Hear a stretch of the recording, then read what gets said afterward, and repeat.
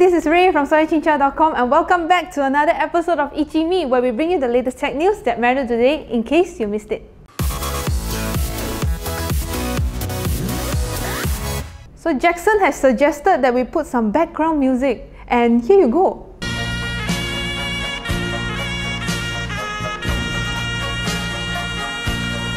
Okay, moving on.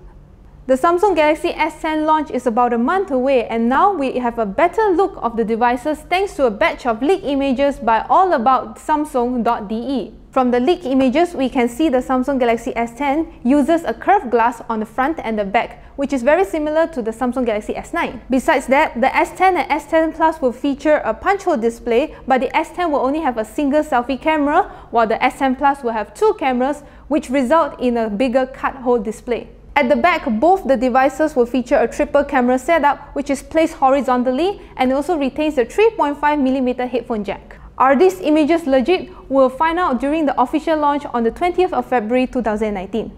Hotlink is offering 88 gigs of free data for YouTube in conjunction with the Chinese New Year. Do take note that the free data will follow the validity of the plans offered by Hotlink MU. For example, if you're eligible to purchase 3 days 5 gigs of data add-on for 7 ringgit, you can enjoy the extra 88 gigs of data for YouTube, but it is only available for 3 days. The free data will be available starting from today until the 20th of February 2019.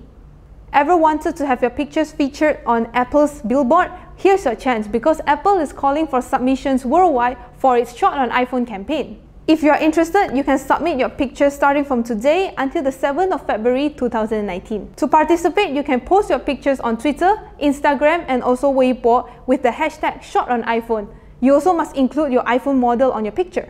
You can also submit your photo at shotoniphone at apple.com with the file format your first name, your last name and also your iPhone model.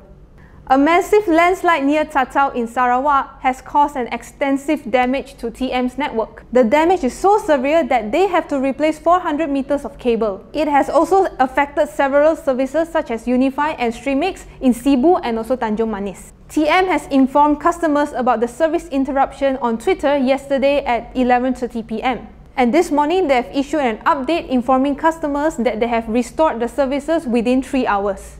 If you want to learn more of what I've said just now, the links are in the description. So we would like to hear from you. You can leave a comment down below too. Okay, that's all from me. If you like this video, give it a thumbs up. Like us on Facebook, subscribe to our YouTube channel and also hit the notification bell icon so that be informed whenever we post a new video.